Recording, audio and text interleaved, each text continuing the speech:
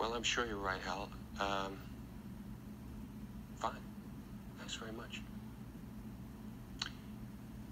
Oh, Frank, I'm having a bit of trouble with my transmitter and C-pod. I wonder if you'd come down and take a look at it with me. Sure. See you later, Hal.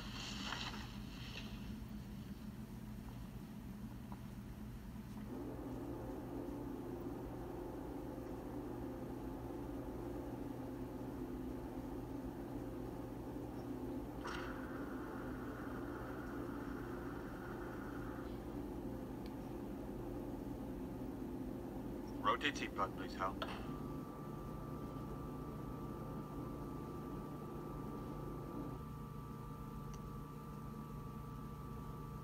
What sort of trouble you been having, Dave? I've been getting some interference on D channel. Hmm. We'll have a look at it.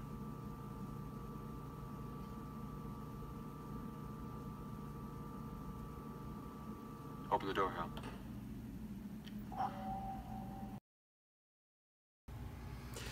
Hello, Ken Spriggs here with part 8 of my 2001 Discovery build. Uh, a lot of great progress on the pod bay interior. Uh, I completed the sub-assemblies that I'm going to add on from the outside to give some more 3D effects to the, um, to the photo etch. Uh, last week I showed you the iconic black and white hallway, maintenance hallway, that uh, I completed for the right side of the pod. Uh, this week I'm working on the lab uh, little lab room on the left side of the of the pod bay that you can see through the little window there. And I'm also working on the oxygen tanks on the back wall, the two large ones on the left side, and the nine uh, little uh, red ones on the right side as well. Uh, I opened this video with some shots from the movie showing that little lab area with the bank of TV screens, TV monitors that you can see there. Uh, so we're going to start looking at that and then we'll uh, work on the um, oxygen tanks as well. All right, let me show you what I've got accomplished.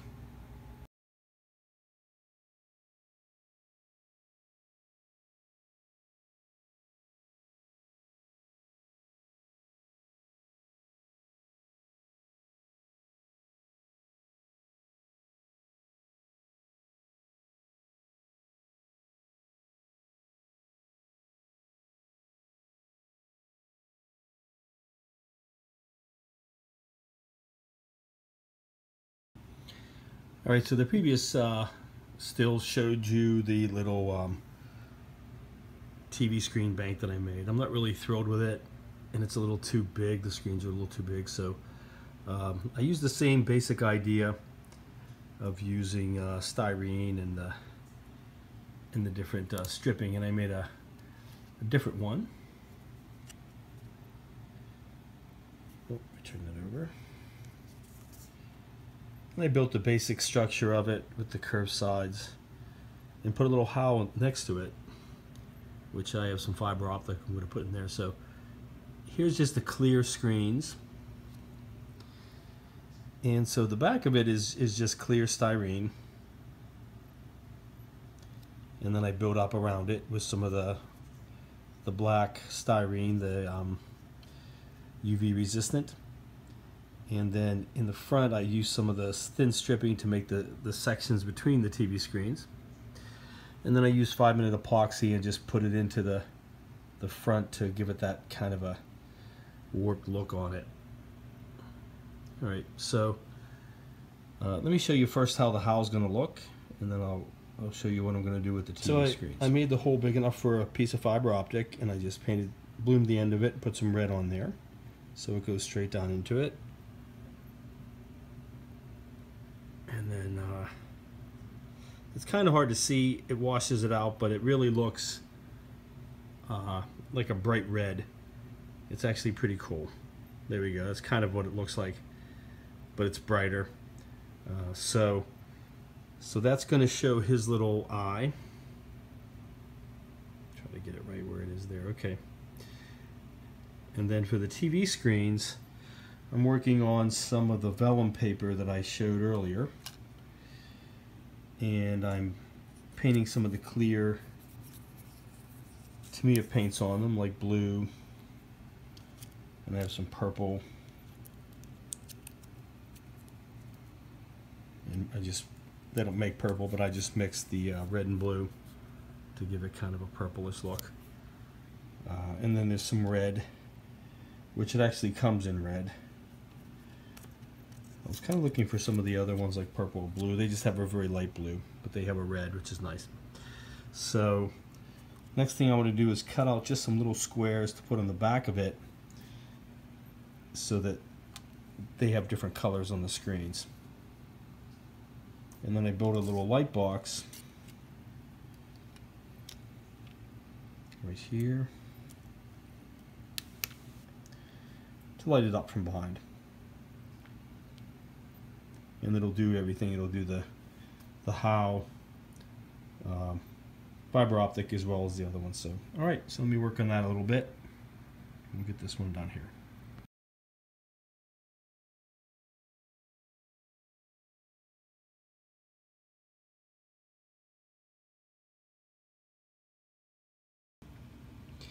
And here's the completed um, detailed box for the um, for the little lab section.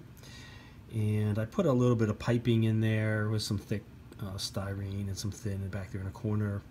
I made a little ladder. Uh, you're really not going to see these very much, but you'll see a little bit of it. So I wanted to just make sure there was some detail there. And I have it all boxed in. Uh, I don't think I'll have a floor to it. It's really not necessary. You're not going to see it. So we'll see.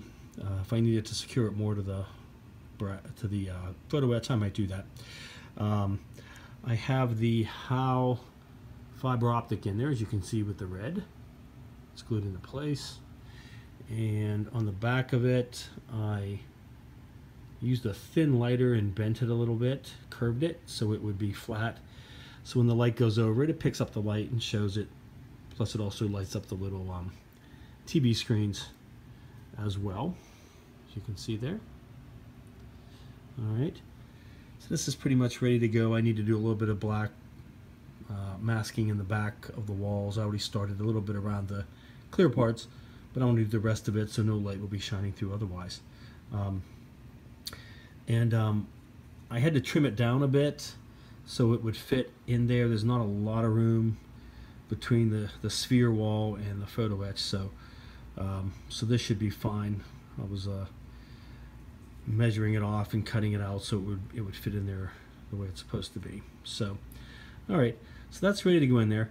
Um, now, um, if you look in the movie stills or the movie scenes that I have in the beginning, the the glass between this and the pod bay looks like it's really thick and it kind of distorts some of the images a bit uh, because basically the pod bay is a big airlock. When you close those doors, this door and the door to the um, maintenance compartment, you would then suck all the air out so you could open up the pod bay doors and everything wouldn't get sucked out into space. And then you know reverse the process and put air back in. So it would have to be pretty strong. So uh, when I was working on the the Stargazer kit uh, about two years ago I never really completed it but I was scratch building the interior. Uh, and I thought I would use it for this kit but they're really wildly different scales. So they're really not going to work but I started to build my own um, scratch building back then that I completely did out of styrene. So here's the, the lab wall that I made out of some styrene and used other thin styrene, a similar process to what I'm doing today, and just build up the wall. And I'm going to do some of this same detailing like the piping on the left side underneath it that's not on the photo etch. I'm going to build those on myself. But um, also the the walls around the door, that kind of thing. But um, but back then when I built this, and also the back wall that has the little air tanks, you can see those are three-dimensional as well, which I'll be doing on this kit. I um, I wanted to come up with a window for this, although I wasn't really thinking about a, a lab behind it, but I wanted something thick that would just kind of distort what's behind there. But uh, and I played with a few ideas of getting something that was plastic and thick. And um, the best thing I could come up with, which I still have, which I'm going to use on this, is this really big thick piece of plastic here. And where I got this from, and sometimes you got to be inventive when you're doing uh, this hobby, is uh, a measuring cup, which I still use as a measuring cup but I basically just cut that off just cut that right off the stem it was a fairly long handle And I was just in a store one day and I noticed it and thought, oh, that's a nice little thick piece of plastic. and it definitely warps what's behind it. So, um, so I've had that ever since uh, with the um, with the Stargazer parts, and I thought, oh, you know, I can use that for this. So, um, so what that's going to do is I I made this just big enough so that this would fit in there as well, and I will glue it in place. And it'll be the window, but it does kind of just just slightly distort the images behind it which gives you a little bit different idea that um, that there's a thick piece of glass there. So this will be glued onto this piece before it goes into the kit. Uh, and you'll just see this will come up flush against that window. I may trim it off just a little bit as well because it also covers the door and that other little um, little control panel which I want to put a fiber optic behind. So all right, so this is about ready to go. Let me go ahead and uh, put the lights on this and stick it up against the, um, the photo etch and give you an idea of what we're going to see. All right. All right, so I have the, the light box taped on the back. And, uh, and even though they don't look at, these are, um, the little monitors look uh, a lot more brighter colors. Uh, the top center is a red, the bottom center is the purple, and then the two sides are the blue and then the little uh, red Hal eye on the left there. All right, and that's all being lit by that uh, that one little light box. Okay, and then when I put the um, this piece of plastic on it to distort it.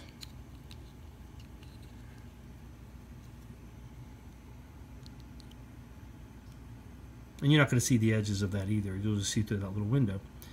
It um, it distorts the image a little bit and it's an even better effect in person but it kind of distorts that image just a little bit as though it were through a really thick piece of glass which pretty much this is a thick piece of plastic so alright so that looks pretty cool and you're mostly just going to see that little control panel with the bank of monitors. You might see a little bit of that piping but not a whole ton. And then this will be glued in so this will be one whole unit that I'll have on the back of the of the photo etch uh, pod base. So let me go and put that in and show you Hal that's all going to look. All right there we go. So I have it taped behind the, um, the photo etch so you can see it through that little window there. You can see the little red light for how. You can see the, the little uh, monitors.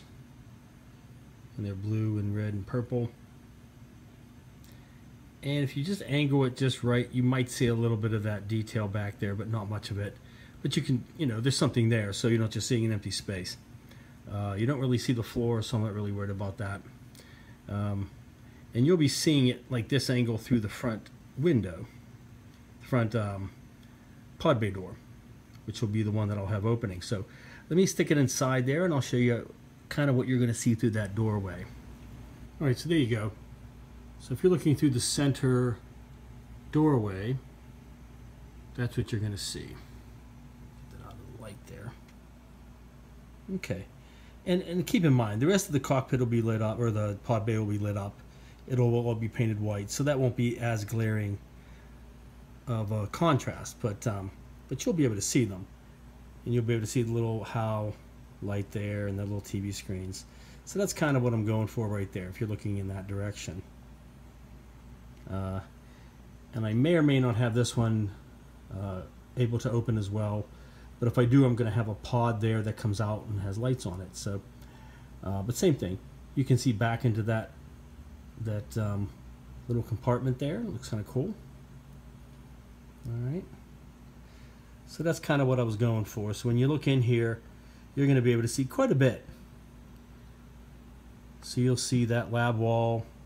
You'll see the back uh, uh, oxygen tanks that I'm going to put in and you'll be able to see a fair amount of that um, tunnel right there going through that back door that'll be lit up as well and if I have this one open you're going to see a straight shot straight into there so I'll pass the pod anyway all right yeah so quite a bit is visible in the pod bay as opposed to the cockpit but but that looks pretty cool so I'm real happy with that Uh, and as you can see, like I said, not a whole lot of room. I mean, that's that's real close to snugging up against that uh, side of that dome there. There's not a lot of room to work with back there, so I had to trim it down quite a bit to make it fit. But um, but that turned out really nice. I like that quite a lot. All right.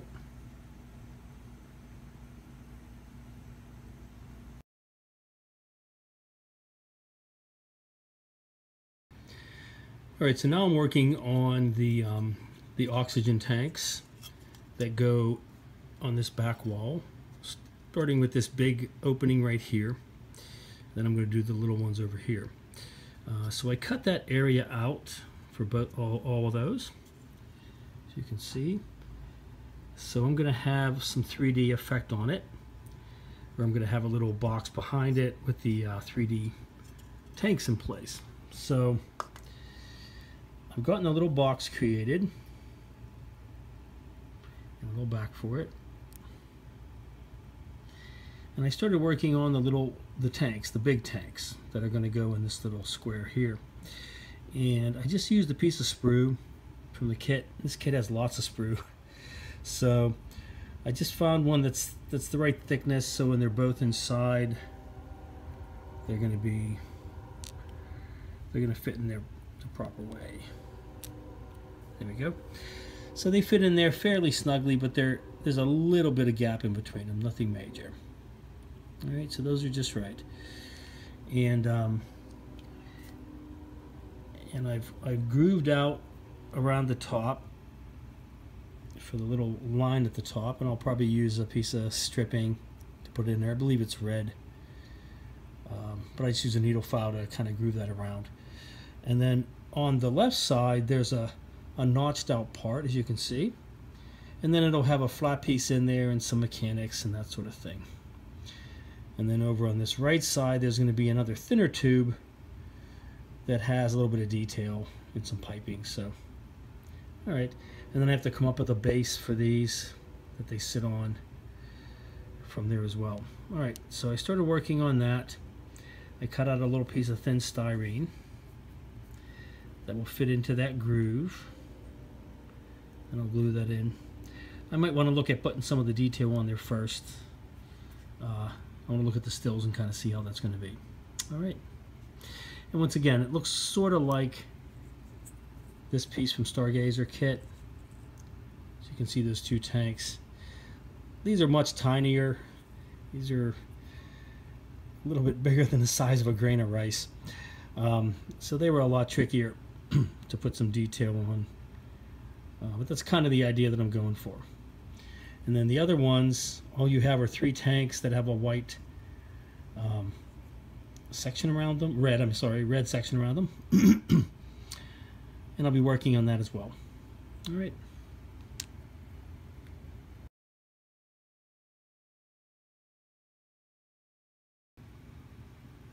All right, there we go. So some very delicate work but that's nearly the main tank part complete. Uh, the black stripe at the top, it's actually just a piece of wire. I have some of this red and black wire and I just uh, took apart a black piece and I'll end up gluing it in there and then snipping it off in the back. Um, the little side piece, if I get focus on there. That little side piece is just a piece of flat styrene that I painted with some uh, some rust color. Put a couple of pieces of, of styrene on it to make it look like some detail in there. And then use a couple of pieces on the bottom and I cut off it with sprue as well and sanded down a bit. Alright, so that's the main look of it. And then I'm still gonna, there's still some more pieces and some yellow on there and and some other uh, design too. So, okay, those are coming along pretty well.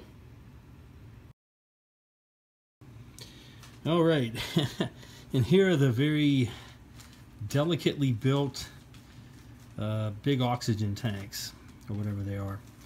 Tanks of some kind. Uh, a lot of really delicate detail in there. I still have to finish a little bit of painting uh, and um, and put on a few decals. I have some yellow ones there. They're to go down on the bottom. Uh, and then the, the black stripping around the top. Uh, quite a bit of delicate work on these. From those little side panels there, that I put a little piece of little piece of stripping in and some red paint, uh, rust paint, to uh, those little teeny, those little cylinders on the sides. You can see coming out of the upper left, there's a little teeny thin strip. Uh, in the um, in the actual ship, they're black. So once I'm done, I'll paint those black as well. All right, so let those dry overnight. Let all those parts dry on there. Then I want to get a little more white paint on it and then do some detailing. Completed okay. uh, large oxygen tanks in their little box. So I've got quite a bit of detail on there. Uh, the tubes on the side, the little black hoses up there on the top, the black rings across the top.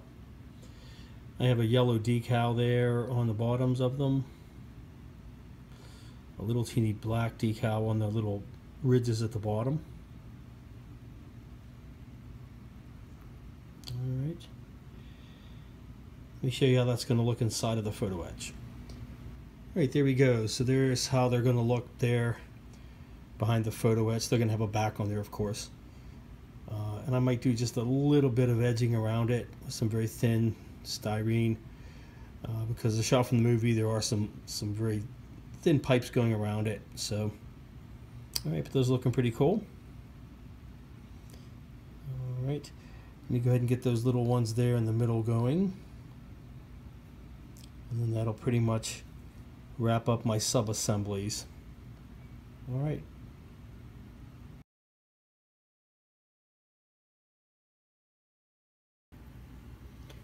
All right, so I'm working on the little uh, tanks that go in the three little areas right here, these three right here. And each of these has three smaller short tanks that are connected.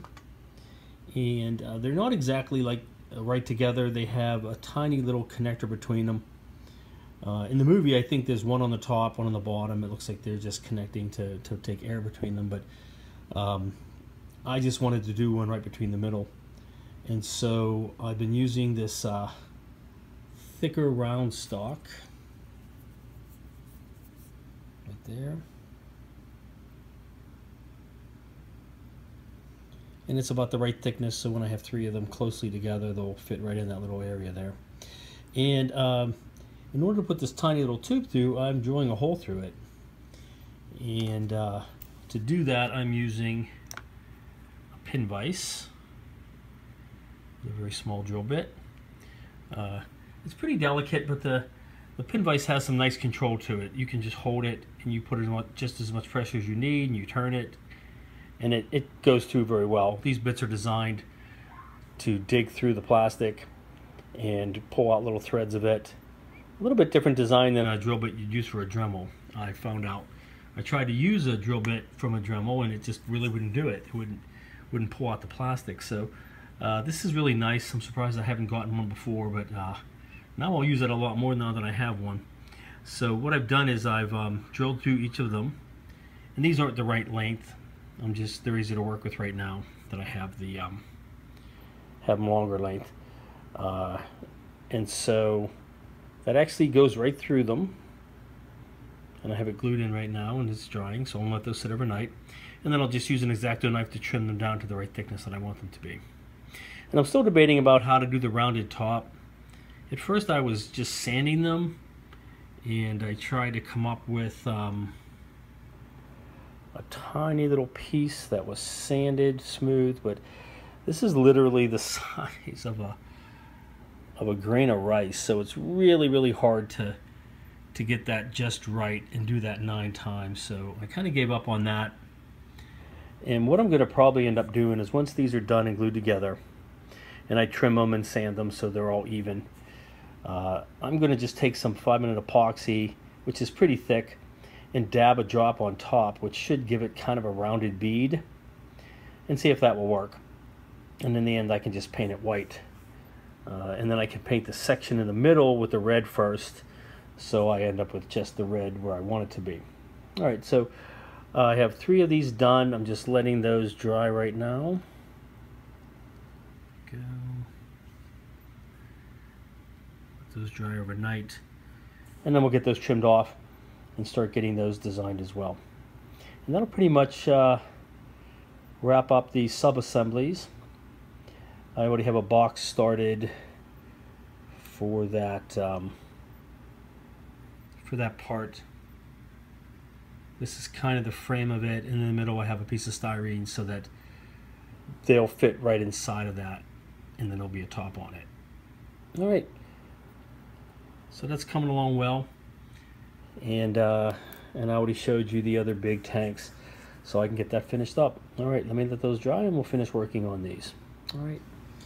All right, so I've been doing a, a couple of tests to kind of get um, the rounded part at the top and a bit of a lip on it.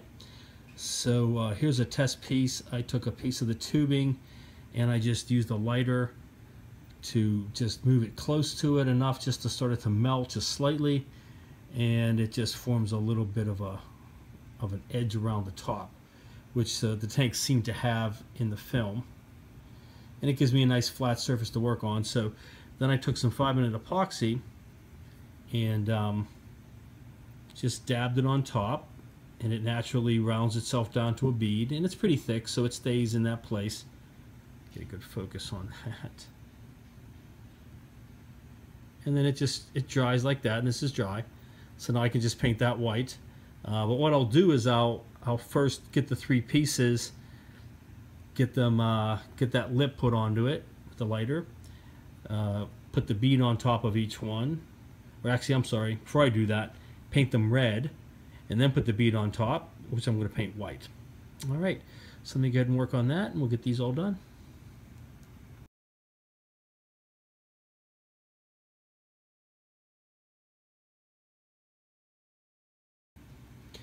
All right, and here's the completed set of the smaller tanks glued onto the little box that I am going to stick behind it. Still going to trim off this little piece on the end here, but uh, let me stick that behind the kit and I'll show you how that's going to look behind the photo etch. All right, there we go. And they might not be perfectly straight right now and there, but uh, those are going to look pretty cool. Really hard to get a uniform detail on those, but I think it'll be fine once the rest of it is painted white. And they'll be kind of blocked anyway by the spacesuits over to the right side there but all right so let me just put that other tank set in there and I'll show you how these will look together. All right. So there are the replacement large tanks on the left little red tanks on the right and then are permanently glued in place. I'll wait to do that until I get the um, rest of the detail on the pod bay and get it painted. And I'll be ready to glue those on at the end. All right, so three um, major sub-assemblies completed. Uh, I got the, um, the right maintenance corridor completed. I got the left lab completed with the TV monitors. And I got the back wall of the, um, the tanks completed. So those are ready to go.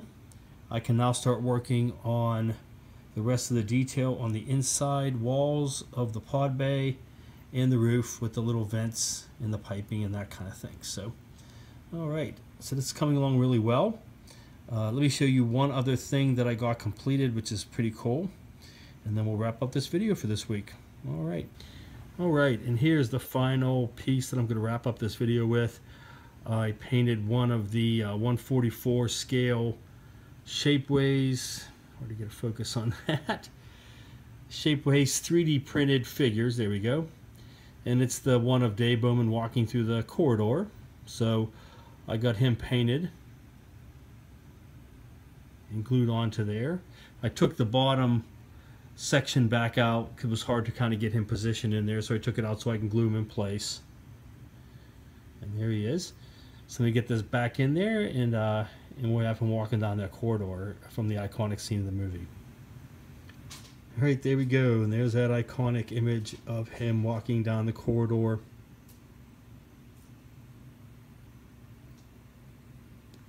And when this is inside the ship, obviously, the pod bay, it's going to light up. You're going to see the different panels lighting up there. So, all right.